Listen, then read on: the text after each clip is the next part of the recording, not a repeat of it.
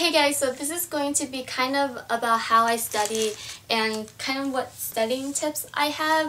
Um, I'm not saying that I'm a professional. I mean, what works for me might not work for you guys. And I'm not saying that I'm like the smartest student. I don't get straight A's.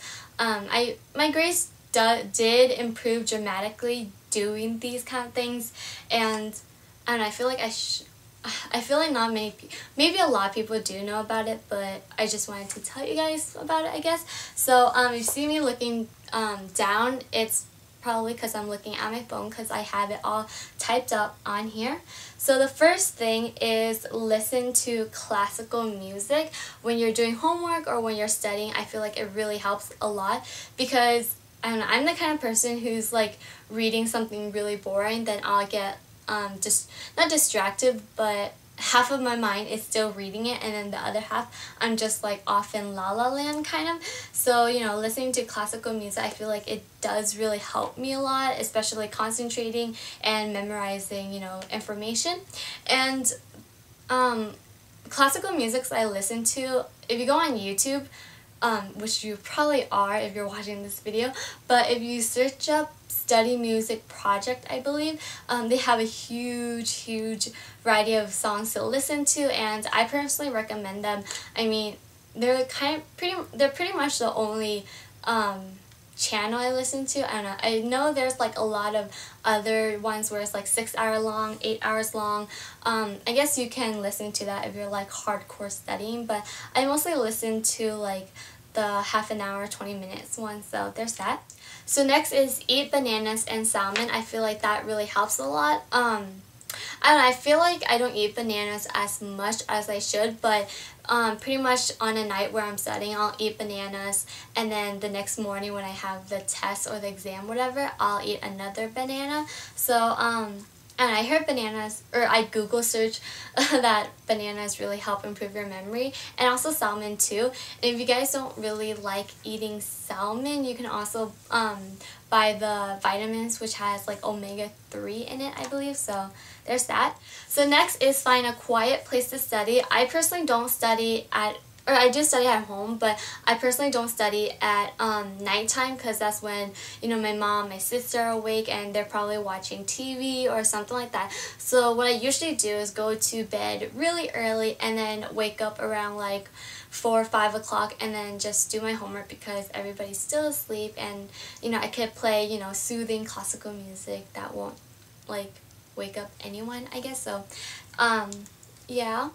And then the next tip is pretty much to summarize or just paraphrase passages or information that you um, need to memorize. So like for example, vocabulary and de definitions, you want to um, phrase it in your own words instead of just like copying word for word because um, you might not have like an understanding of it in a way because all exams aren't going to choose the same definition.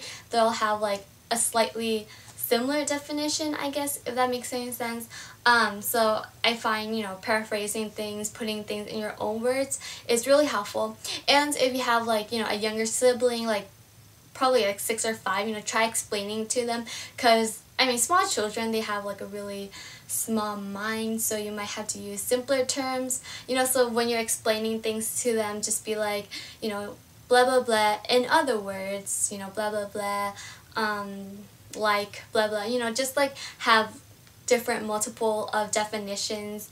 Um, that's really simple you know you don't want it to be like overwhelming not overwhelming but too much information or not too much information but just you know try to make it in simple terms that you can understand and you know whoever's listening to you can understand.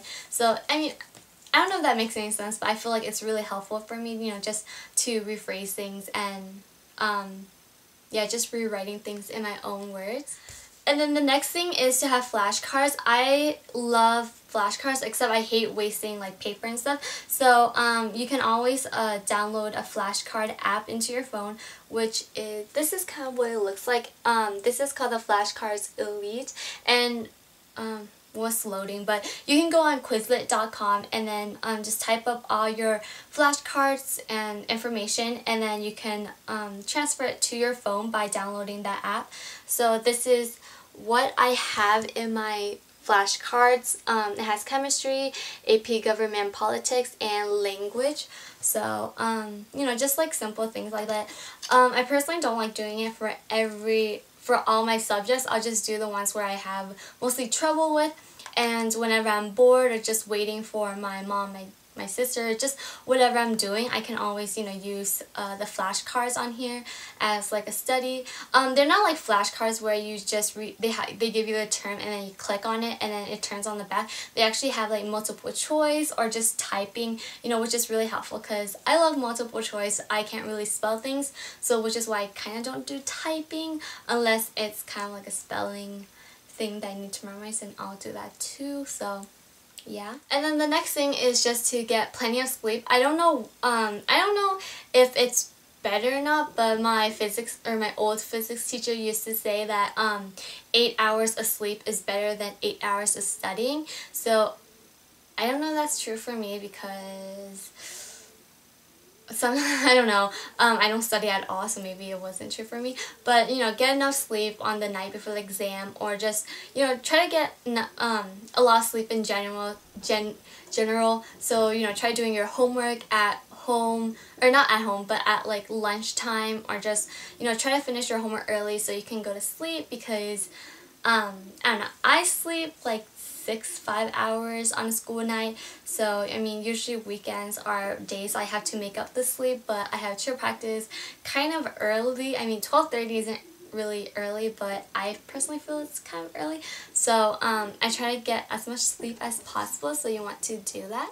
So yeah, that is it. Um, I mean, like I said, you know, these tips work for me. If they don't work for you, then I'm sorry, but I did get the most improved academic or the most improved award for um, third trimester last year. So I'm pretty proud of that, and I personally think that you know it's because of classical music and the way I change how I you know um, when I study and stuff like that. So yeah, I hope you guys enjoy this video and find it useful. So yeah, bye!